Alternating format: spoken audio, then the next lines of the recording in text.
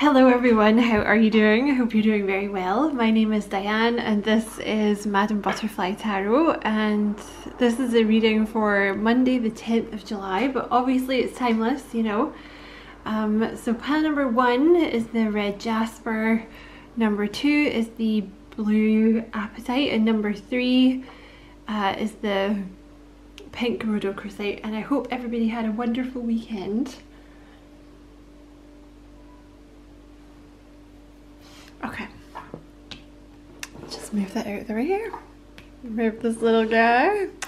And pile number one's the red jasper. Okay, so you guys have, you got a big old stack of tarot cards. So you have Distant Thunder, Clear the Air, and you have Show the World the Real You. So this card always reminds me of the tower. So I feel like you might have a tower coming. Also when it says clear the air, it makes me think you know, of a conversation being had. Like there's something that needs, you know, you need to have a conversation with someone or someone's coming in to clear the air with you. That's what that always makes me think of. You also have the Empress and you have the Strength card. See, again, the Strength card for me is about like a conversation that you're going to have with someone. Might be quite an intense conversation, just to warn you, might be quite an intense conversation. Um, where like two people kind of lay their cards on the table and be like, okay, so this is where I was coming from, where were you coming from, how do you want to move this forward or whatever it is, okay? Um, you also have, you have the King of Pentacles with the Nine of Pentacles. I kind of want to put her down there like that.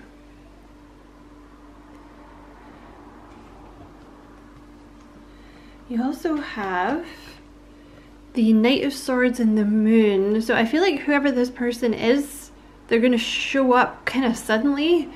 Um, and you probably won't see them coming, like with the moon, you know, it might happen at night. Even you might get a text from this person at night, or they might call you at night or something, or like you might wake up and with, you know, wake up with a message from this person. Because the Knight of Swords can be quite impulsive, you know what I mean? It's like, oh, I'm just gonna do it, like screw it, I'm just gonna do it, I'm gonna do it now while I have you know the motivation like you know while i'm in while i'm in the mood kind of thing.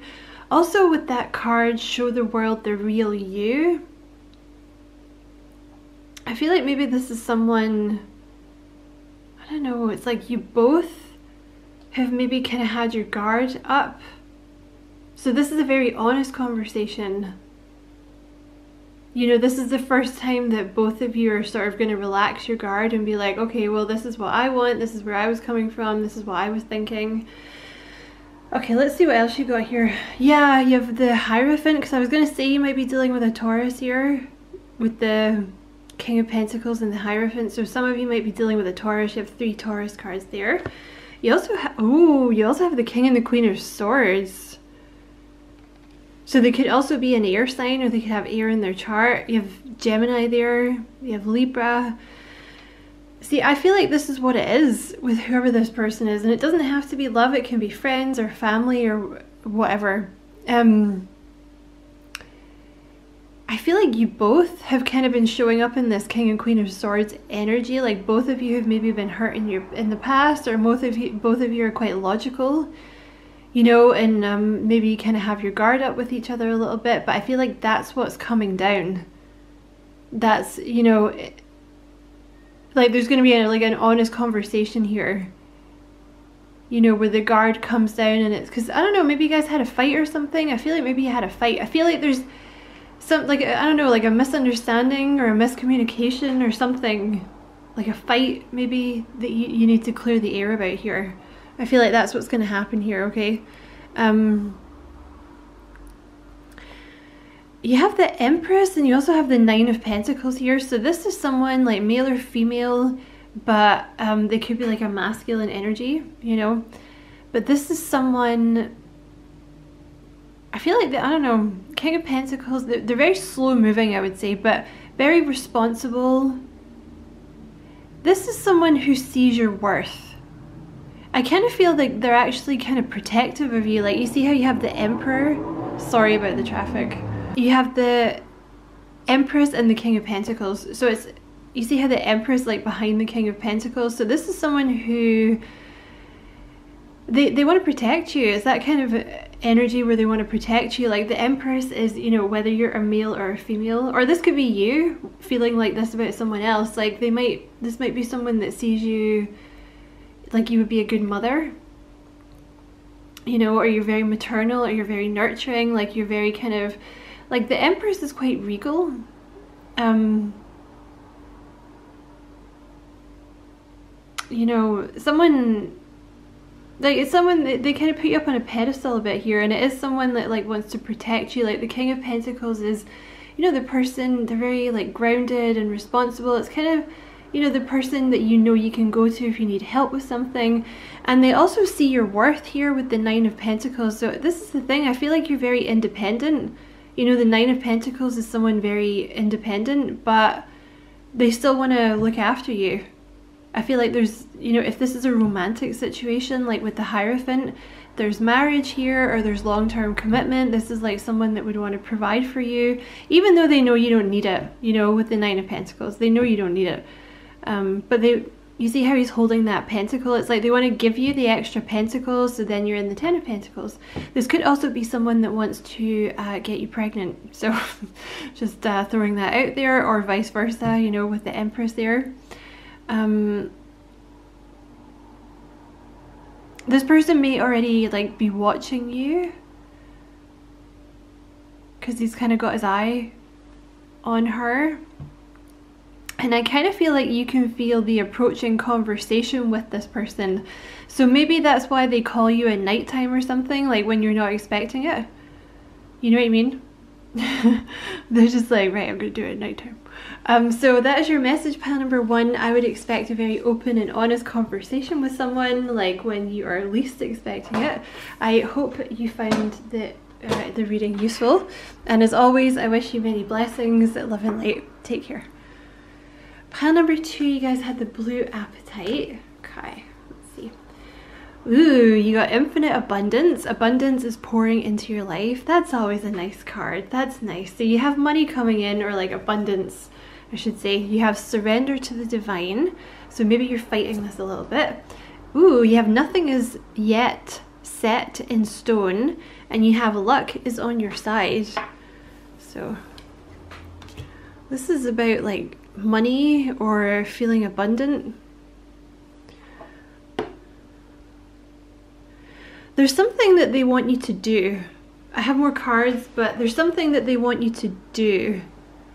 Um, maybe you're fighting it a little bit. I don't know why, but maybe you're fighting it a little bit. But um, they're saying you don't have to do it. Whatever this is, you don't have to. Like, I think that's what this message here is. Nothing is yet set in stone. Because, you know, even if it's something like with the surrender to the divine, it's kind of they would really like you to do it and it's definitely on your life path, blah, blah, blah, blah, blah you don't have to do it. You know, we always have free will, but um, if this is something that you wanted to do, and I kind of feel like it's something you're already manifesting with the blue apatite. If you were to do this, whatever it is you're thinking of, and it's something to do with money, then it would be very abundant for you because because it is something to do with your life purpose, you know, you would have luck on your side. They would help you with it, if you see what I mean. Like you would be getting a lot of you know help from spirit if you decided to do this. Um, also you have the bow.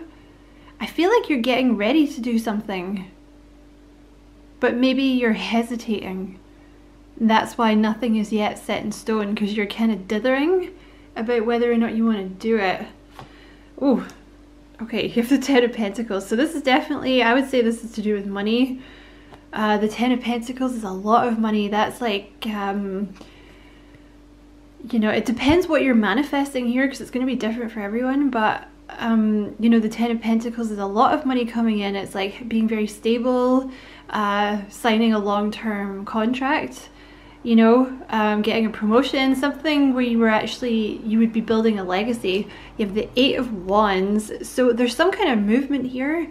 Um, this could also be about communication coming in, like someone's going to offer you a position or, um, you know, if it's something that you're trying to manifest yourself, for example, like a business, it means like there's going to be like a sudden surge of movement forward. Okay? You have, yeah, the Wheel of Fortune. I feel like whatever this is, is, is on your path. That's why, like, if you chose to do this, you would get a lot of help from Spirit. But I think they're saying, yeah, because look, you have the Nine of Swords here. For some reason, you're overthinking this. And um, I get ya. I get where you're coming from. I'm an overthinker myself. you know what, though? It doesn't do us any good, right? Um, I feel like this is something that you're overthinking and you're quite anxious about it. You know, that's like the Nine of Swords is like overthinking, anxiety, kind of predicting the worst, like being a bit of a prophet of doom kind of thing.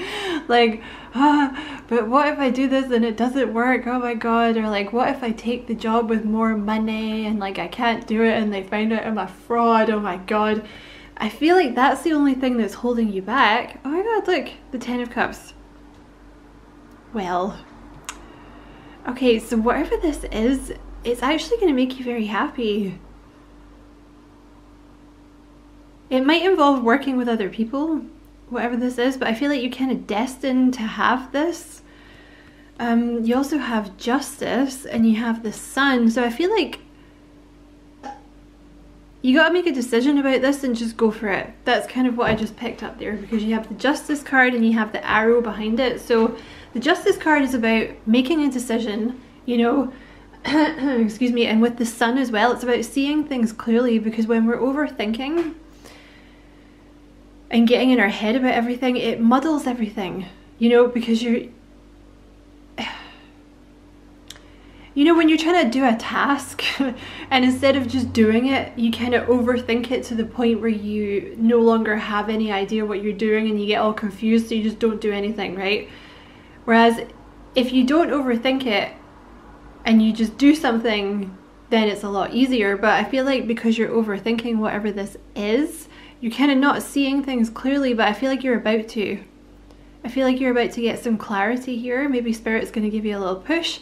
Um, if you are an overthinker, you know, have a look on YouTube because there's like so many you know frequencies and stuff that you can use to stop yourself overthinking also grounding your energy using your root chakra uh, meditation, deep breathing, journaling. These are all really good for helping you stop overthinking because it shows you like the thoughts that are actually holding you back. So you can be like, oh, well, that's not real. I don't need to worry about that. You know, you know, this is a case of just going for it, I think, whatever it is.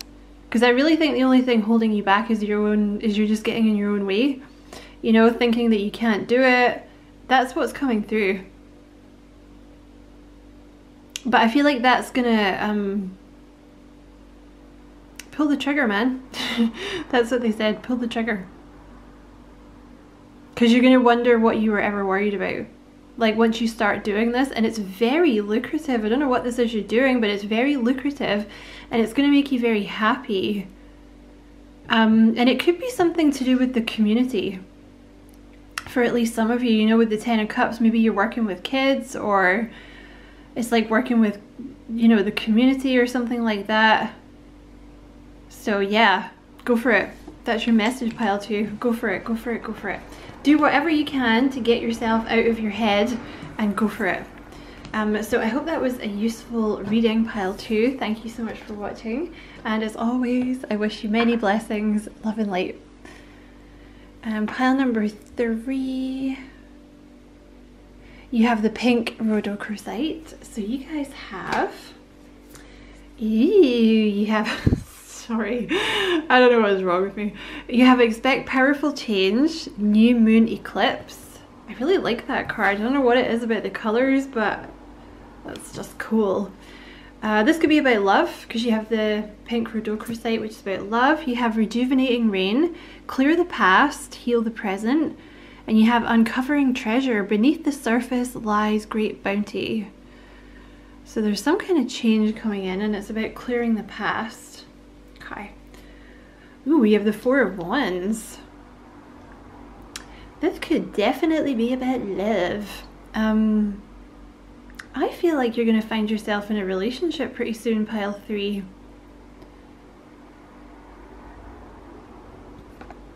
You have the Five of Swords in reverse. Have the Ace of Pentacles. You have the King of Wands. Someone's watching. You have the Six of Pentacles. Someone's going to offer you... I think this is someone from your past, okay? You may have been attracted to pile number one as well. I got a couple more cards here, but someone's to come in. Could be a fire sign, King of Wands, Aries, Leo, Sagittarius. I feel like someone doesn't want to fight anymore. See with the Five of Swords in reverse, it's maybe someone where there was always a lot of one-upping or one of you was always trying to be in control or yeah, like a lot of butting heads or something like that. So maybe you walked away or maybe the other person walked away, but I feel like they don't want to fight with you anymore. And they may have been watching you with the King of Wands because he's watching, obviously. But someone's going to come in and I feel I feel like it's I don't know if it's an apology, but it's something they want to clear the past to heal the present because I feel like this is someone that's going to offer you like commitment, right? I mean, maybe not right off the bat, you know, they might not come in and be like, marry me. But, you know, with the Ace of Pentacles, this is like let's go for lunch. Let's go for dinner. Let me take you for a coffee. Let's talk kind of thing, like a peace offering, right? And the Six of Pentacles, this is about giving. So this could be someone, I don't know, where you gave a lot in the past. It's like equal give and take now. I feel like that's what this will be, equal give and take. Um, the Six of Pentacles, this person could be your boss, they could be a customer where you work. Um, they could be a Libra. Could be someone that's, they're kind of boss energy, whoever they are, like with the King of Wands and the Six of Pentacles. Someone that's like in charge. Um, motivational speaker, leader, alpha male, alpha female, this kind of thing. Usually very good looking, very charming, very good at speaking. But a good person, like with the Six of Pentacles, someone very generous. Um, so you might get spoiled a little bit here as well, okay? yeah, they really want to come in and balance this out with you. And I feel like it's going to lead to a commitment, honestly. I feel like it's going to lead to a commitment. And you have, ooh, look at that.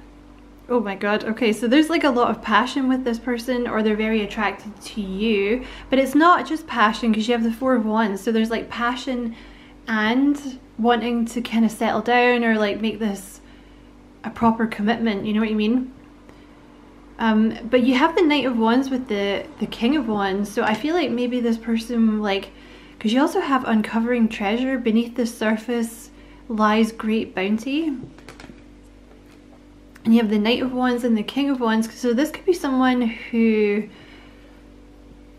was maybe kind of in and out in the past, or maybe you thought they were, excuse me, like a bit of a player or something like that, or something like that. But they're returning as the King of Wands. So like the same kind of energy, the same kind of like very charismatic, very bold, like um, charismatic, like leader energy, but like wanting to settle down you know, with the King of Wands. But like so much passion here, I think. I think you would have the best of both worlds with this person because you do have the passion. The Ace of, Ace of Pentacles is wanting to offer something solid and the Four of Wands is obviously like commitment, moving in together, marriage, this kind of thing. Um,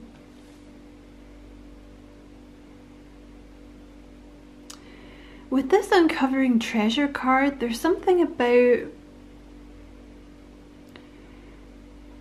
it's not surface level. Maybe you always worried that it was surface level with this person because you have the Five of Swords and the Knight of Wands. You know, maybe you guys fought or you had like a back and forth thing going and like, you know, combined with the Knight of Wands, maybe you thought this person wasn't serious or something. But actually, I think this person is a lot more serious about you than you thought. Okay? With this uncovering treasure. Um, also, like, maybe you thought this person in the past was, I don't know. Yeah, like I think that's maybe what it is. Like you just kind of thought this person maybe didn't want anything deep with you or anything, you know, solid with you, and maybe that's why you left, but you were wrong, okay? Is what I would say.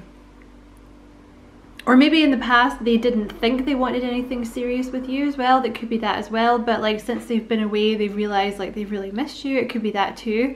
Um,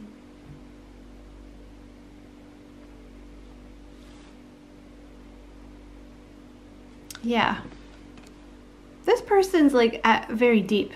I don't know, maybe they come across as um they just want to have a good time. That's what keeps coming through. Like maybe that's what they presented to you at the time that they just wanted to have a good time or something like that. And maybe they did in the past, but that's not the case anymore, okay? This person's a deep little mofo. okay, so that's your message pile number three. I hope you enjoyed it. Uh, thank you so much for watching. And as always, I wish you many blessings, love and light. Take care.